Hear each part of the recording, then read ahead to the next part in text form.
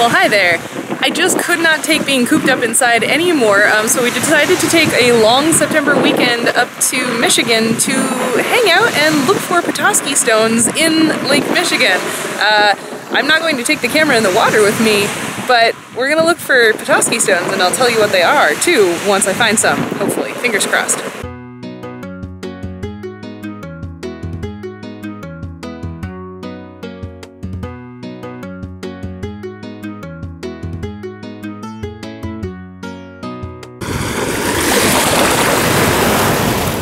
So right here on this line where the waves pull back seems to be sort of where the heavier bits of rock get accumulated, whereas like sand moves up and down the shore quite a bit. So I think in this line is probably where I'm going to be able to find these rocks that I'm looking for, but I can't do that with the camera in my hand. So I'm going to put you down for a second. That beautiful, beautiful lake though. Okay, so I spent a little time in the water and we found some, uh, so I want to show you what these look like, but it's kind of weird because they don't look like anything when they're dry, so I'm kind of gonna have to like show you each one and then get it wet and put it back in front of the camera so that you can actually see the design or the fossil, these are fossils, that's in the Petoskey stone. So I'm gonna show them to you dry um, and then I'll get them wet. And that way you can sort of see the search image or what it is you would be looking for if you were going to stones. So here's my collection so far. Uh, this one is a really, oops, this one is a really good one.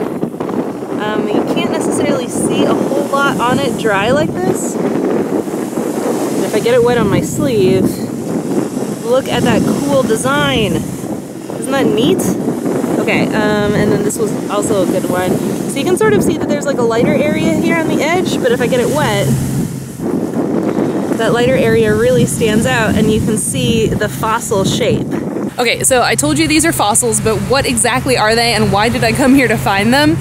Well, Petoskey, Michigan is known for Petoskey stones, which are a special kind of fossil that you can find along the beaches here in Petoskey, Michigan, and all up and down this part of the Lake Michigan coast. Um, so we're on the eastern side of Lake Michigan, up in the north near Traverse Bay, and this whole area is known for these Petoskey stones. They are a kind of fossilized coral. So this part of the world this continent or this landmass used to be underwater and closer to the equator, and huge coral reefs grew in that area, and the coral reefs fossilized or became replaced with minerals over time, and then became part of the bedrock. And then all of the tectonic plates and land masses shifted around over millions of years, and now we are here in Michigan in the northern hemisphere. But when the glaciers moved through, they broke up a lot of the bedrock and turned up the soil and everything. So now you can actually find Petoskey stones in the beaches and in the water in the very near shoreline in the lake. Um, and these are really cool because when I showed you the design, you could see this sort of like multi-sided shape. Um, so that is a single coral polyp. Remember, corals are clonal animals, so each individual polyp is its own animal, but they are all clones of one another, and they live in these large colonies.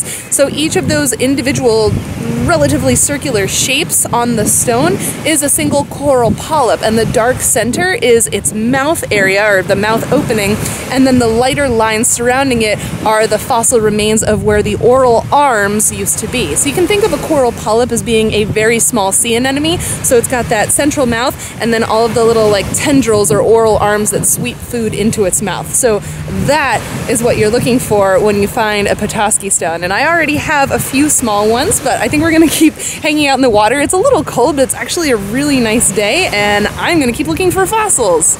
So we very quickly realized that since the design is not really visible when the rocks are dry, it doesn't make a lot of sense to look for them up there on the land, also because there aren't as many rocks up there. There's more rocks down here in the water.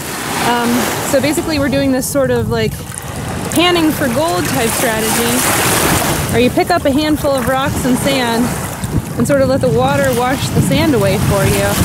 And then you can just look at the handful of rocks and flip all of them over because sometimes the fossil is only visible on one side. Um, but it looks like, did you find one there? Nice. Look at that. Yeah. So you have to sort of like just get ankles or maybe knee deep in the water and start picking up handfuls of rocks wash the sand away, and uh, see what you find. I'm back inside where there's no more wind, so you can actually maybe hear and understand what I'm saying now. Sorry about how windy it was on the beach. Uh, but these are the Petoskey stones that we found while we were out on the beach exploring. Uh, so I wanted to just sort of clarify or reiterate what I was talking about earlier on the beach because it was windy and I was out of breath and excited about the fossils.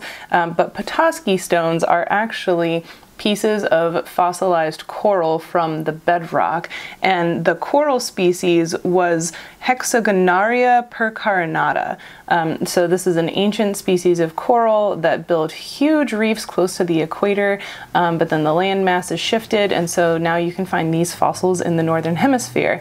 Now, most of them look pretty much just like normal rocks. Uh, when they're dry like this, but if I pour water on them,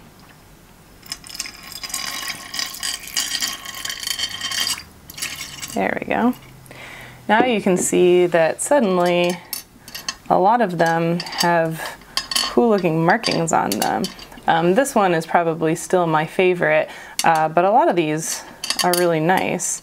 Um, and you can see that some of them only have a bit of fossil on like a corner. Um, so sometimes you're not going to get a full fossil. That's the other reason this one is cool is because it's um, the entire rock is a piece of fossil. But um, let me see if I can refocus the camera here. Uh, as I was trying to explain in the video on the beach, um, these, whoops, oh gosh, oh gosh, come on camera, you can do it. There we go. Um, so these shapes are each an individual coral polyp. So uh, the dark center is where the mouth was, and then the um, white sort of outer line here is the edge of where the oral arms of this coral polyp um, met or touched or interacted with the oral arms of the next coral polyp over. So you can see one, two, three, four, five, like six uh, coral polyps on the surface of this stone. Um, so they just would have been a huge mat um, to make the coral reef. So these trying to bring the focus back. There we go. These are our Petoskey stones. So we've got a whole bunch of different ones, some with quite a few polyps on them, some with maybe only one or two. Um, but this was just so exciting. I'd never like gone hunting for fossils and found fossils before. This is really cool and I very much enjoyed it. Uh, so I would recommend that you do it if you get the chance. That being said though, I do want to remind you that Petoskey stones are a very particular kind of fossil. They're incredibly common. You can find them all over. A lot of them are very small like that. Um, so it means that they are okay for people to collect in certain amounts. You, I think the rule is you can't collect over like 25 pounds or something like that, which is a lot of rock I don't think you need that many Petoskey stones in your personal collection. Um, but the reason I'm bringing this up is because lots of fossils are really, really, really important to science. And if you find a fossilized bone or shell or, you know, even um, a human artifact, so not a fossil, but something like um, an arrowhead or a piece of pottery, it's important to leave those things where they are um, and take GPS coordinates if you're able to on your phone and report that to your local natural history museum or something like that um, because those fossils are heritage for all of us and they don't belong in one person's private collection. So make sure you understand the rules about collecting certain kinds of fossils in the area where you are and what kind of fossils they are before you go out on a collecting expedition. So Petoskey stones are okay for people to just collect individually like this, um, but other kinds of fossils are not. So please make sure that you are aware of all of those rules before you go and try to do something like this because you don't want to take something that you shouldn't and make it so that no one else is able to see or learn from that particular artifact. But like I said, the water in Lake Michigan was cold but crisp and nice and we had a wonderful day looking for Petoskey stones. So if you ever find yourself in northern Michigan